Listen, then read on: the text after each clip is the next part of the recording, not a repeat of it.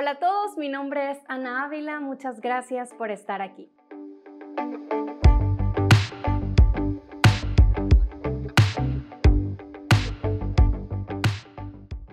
El video de hoy va a ser un poquito diferente, en el que no les voy a exponer un tema en particular, sino que les voy a contar una historia que espero que les sirva. La historia es básicamente de cómo elegí mi carrera, qué estudié y cómo llegué a ser lo que soy hoy. Porque quizá muchos de ustedes no saben, pero yo no estudié nada que tenga que ver con escritura de libros, aunque escribí un libro. No estudié nada que tuviera que ver con edición de textos, aunque soy editora senior en Coalición por el Evangelio. Yo estudié químico, biólogo clínico en la universidad y no me arrepiento ni un segundo, no creo que haya sido una pérdida de tiempo y les voy a explicar un poquito de por qué es mi historia. Espero que si tú estás en una encrucijada sobre, ay, no sé qué estudiar y estás afanado por tomar la decisión perfecta, esta historia te ayude a saber que la universidad no es una fábrica, no es un momento en el que tú ya tienes que tener todas las decisiones de tu vida tomadas, sino que es un tiempo para adquirir conocimientos, explorar nuevas herramientas y agarrar todo lo que aprendes para después utilizarlo como Dios te guíe en lo que sea que va a ser tu vida profesional. Así que les voy a contar mi historia. Bueno, yo cuando estaba en mi época de decidir qué quería estudiar en la universidad,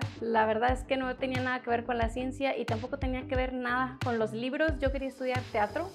Me gustaba mucho cantar y actuar y las artes escénicas y, y, eso quería estudiar en la universidad. Pero mi mamá me dijo, Ana, ¿estás loca? Si estudias teatro te vas a morir de hambre, así que por favor elige otra cosa. En ese momento estaba muy decepcionada porque realmente estaba emocionada por poder estudiar teatro y no dudo que muchos de mis amigos que sí estudiaron teatro y los que quieren estudiar teatro en el futuro van a poder encontrar una carrera en esa área, pero creo que mi mamá tenía razón. Yo estaba muy emocionada porque en la secundaria participé en algunas obras de teatro pero pensándolo bien ahora, en realidad no estoy haciendo nada que tenga que ver con el teatro, ni siquiera como hobby, así que creo que fue una buena decisión no irme por ahí, pero bueno, en ese momento estaba decepcionada y no sabía, no tenía la más mínima idea de que quería estudiar. Afortunadamente, cuando estaba pequeña, mis papás eran esos papás que te meten a un montón de actividades. Estuve en teatro, estuve en oratoria, en deportes como atletismo, gimnasia, danza, en el coro.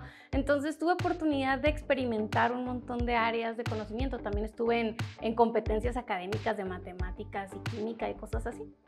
Entonces yo recordaba en ese momento que tenía que decidir qué carrera quería estudiar recordaba que en la secundaria yo había participado en varias competencias de química y la química en particular me gustaba mucho, me parecía algo muy interesante. Siempre he tendido más a las ciencias naturales que a las ciencias humanas. De pequeña leía muchas enciclopedias de biología, ecología y cosas así.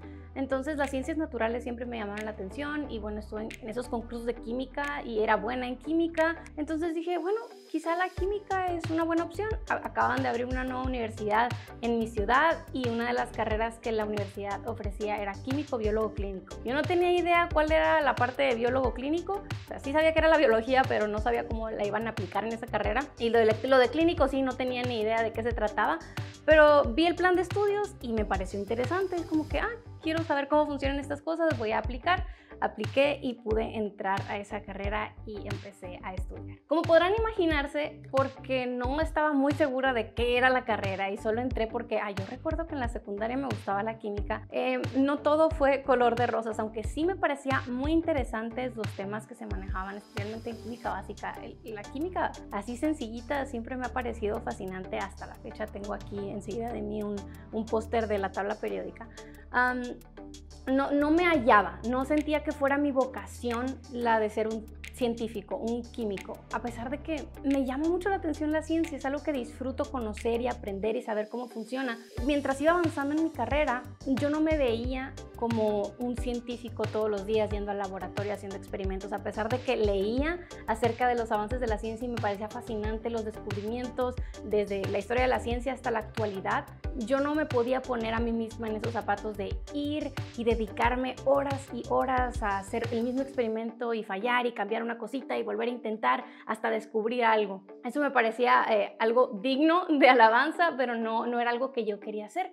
Entonces me empecé a frustrar porque decía, es que esto no es lo que quiero hacer. Yo pensaba, bueno, entré a químico, biólogo clínico, entonces, cuando salga de aquí, tengo que ser un químico biólogo clínico, que yo aprendí que eran los químicos que estaban trabajando en el sistema de salud, en hospitales ah, o en laboratorios clínicos. Y dije, eso no es lo que quiero hacer exactamente. Entonces, tengo que buscar otra carrera. Y empecé a buscar otra carrera. En medio del tercer o cuarto semestre, creo, fui a otras universidades a explorar todavía dentro del área de la química, pero con diferentes aplicaciones. Fui a algunos congresos de química industrial y cosas así, y nada, nada, nada de lo que buscaba me, satisfacía completamente. Entonces, pues seguí avanzando porque dije, bueno, ya estoy en esto y hasta que no decida qué voy a hacer con mi vida, voy a continuar no era la mejor estudiante, desafortunadamente. Eso aprendí a hacerlo después, pero pasaba mis materias, nunca reprobé nada, gracias a Dios. Pasé mis materias de cálculo, el día más feliz de mi vida cuando terminé mi última materia de cálculo. No cuando me casé, no cuando tuve mis hijos, cuando terminé mi última materia de cálculo. Es el día más feliz de mi vida porque odié esa materia, de verdad. Y bueno, seguí avanzando, y después descubrí, no recuerdo bien cómo, pero descubrí que había un campo que se llamaba comunicación de la ciencia. Y todo esto lo descubrí en inglés, eh, Science Communication, que había personas que se dedicaban a estudiar los avances científicos y a traducirlos para comunicárselo a la gente que no era científica. Yo dije, wow, eso sería fascinante poder hacer eso, porque a mí me encanta entender la ciencia, me encanta saber cómo funciona el mundo, aprender de estas cosas.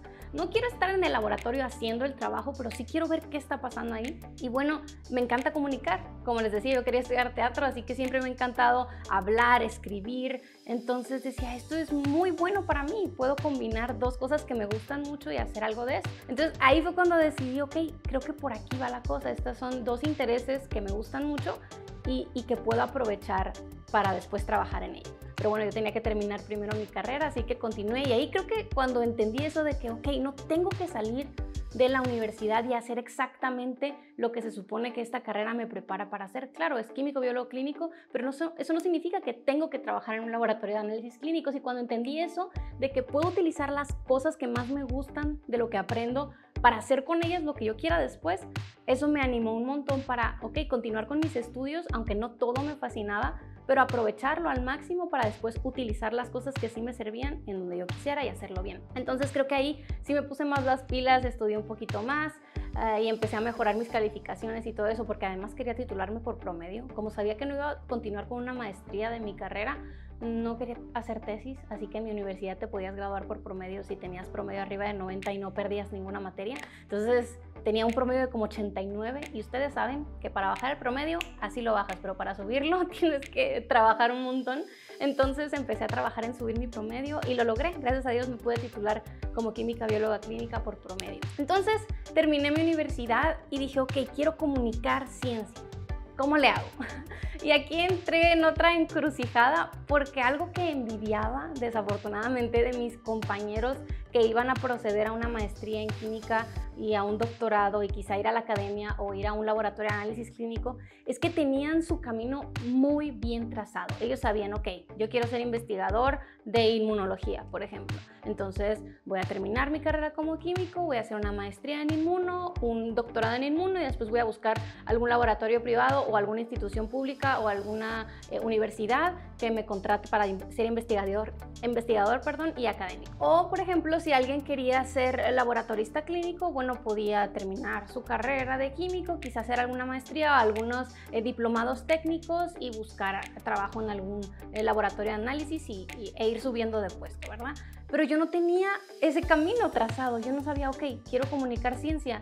No conocía a nadie de mis profesores o a mi alrededor que estuviera escribiendo libros de ciencia o siendo periodista científico. Entonces e, eso me, confundía porque uno, ok, ¿ahora qué hago? Y recuerdo que cuando terminé mi carrera fui el mismo día a dos entrevistas. Eh, una era en un laboratorio de microbiología en, creo que era una harinería o un lugar así donde fabricaban alimentos, era un laboratorio de micro, y el otro lugar era una empresa de redes sociales. O sea, el trabajo era para hacer copy en una empresa de redes sociales. Nada que ver con mi carrera, no tenía absolutamente nada de experiencia. Sabía escribir y tomé algunas materias de comunicación, creo que un par en la universidad, y los profesores me habían dicho que sí sabía escribir, pero era todo empírico, porque yo siempre he leído mucho, entonces creo que se me pegó y pude aprender a escribir y pues siempre había tenido como blogs y cosas así. Entonces sabía escribir, pero nunca había tenido experiencia profesional escribiendo. Y eso para mí era así como que te imaginas cuando me paguen por escribir, pero bueno, eso sería como algo muy lejos.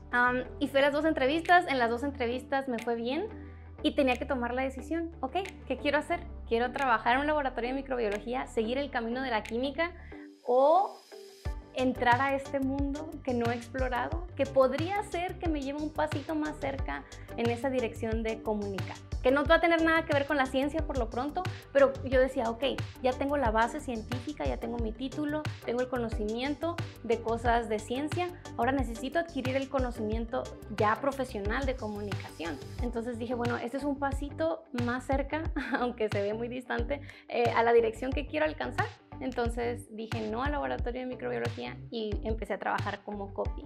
Y empecé a ejercitar la pluma en esa empresa. Trabajé creo que ahí un año y medio. Nada que ver con la ciencia, nada que ver con temas que a mí me gustaran. Solo manejaba cuentas de redes sociales de diversas empresas. Después renuncié a ese trabajo porque se presentó la oportunidad de trabajar en un blog de tecnología y aquí sí pude empezar a trabajar un poquito temas de ciencia. La verdad la mayoría era de tecnología, actualidad, noticias. Yo tenía que escribir entre 4 y 8 artículos pequeñitos, eran como entre 300 y 500 palabras, no era la gran cosa, pero era mucha presión y fue genial porque pude ejercitar la pluma muy rápido. Trabajé ahí creo que dos años en los que diario, diario estaba escribiendo y escribiendo y escribiendo. No eran obras de arte, pero era muchísima práctica y eso me ayudó a desarrollar mis habilidades de escritura como ninguna otra cosa lo ha hecho. Así que agradezco muchísimo ese trabajo. Y bueno, ya tenía un poquito más que ver con lo que yo quería hacer, porque ya no estaba escribiendo copies ni manejando cuentas de redes, sino que estaba escribiendo textos como tal para un blog, aunque pues no eran la gran cosa, pero era un pasito más cerca de eso de que quería comunicar ciencia. Y ahí me acuerdo que descubrí que sí había en español eh, medios que estaban en la comunicación de la ciencia.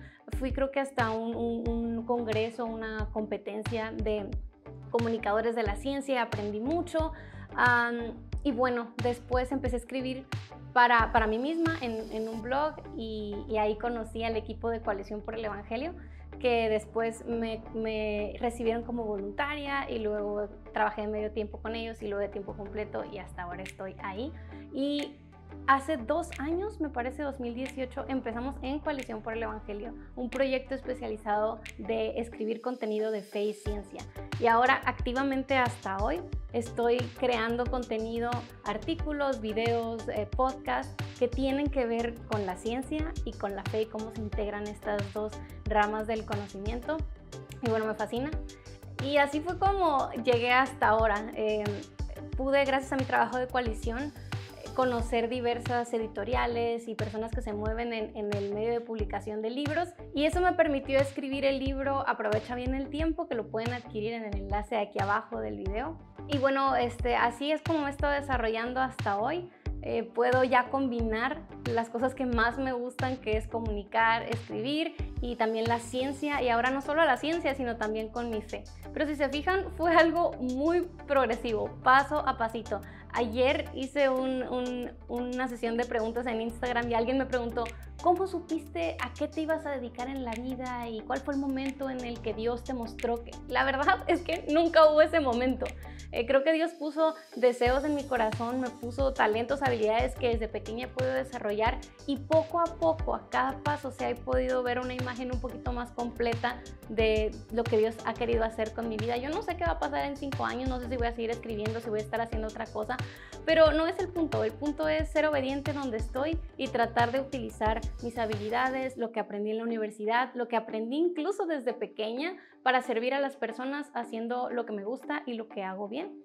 Y bueno, esa es un poquito de la historia de cómo elegí mi carrera y cómo esa carrera me llevó a estar donde estoy yo, aunque no tiene absolutamente nada que ver con la química como tal, pero de verdad, si me preguntas, yo, si pudiera volver el tiempo atrás, incluso sabiendo que voy a dedicarme a ser escritora y editora, no estudiaría otra cosa. Mi carrera me dio un montón de herramientas que otros escritores no tienen y que yo puedo aportar a este mundo de la comunicación, puedo dar una perspectiva diferente acerca de la ciencia y la fe. Mi carrera como química me ayudó a pensar como científica y eso me encanta, me encanta poder pensar como una persona de ciencia, eso hace que mis artículos quizás sean un poco más estructurados, analíticos, poder ofrecer de nuevo esta perspectiva que no todos tienen.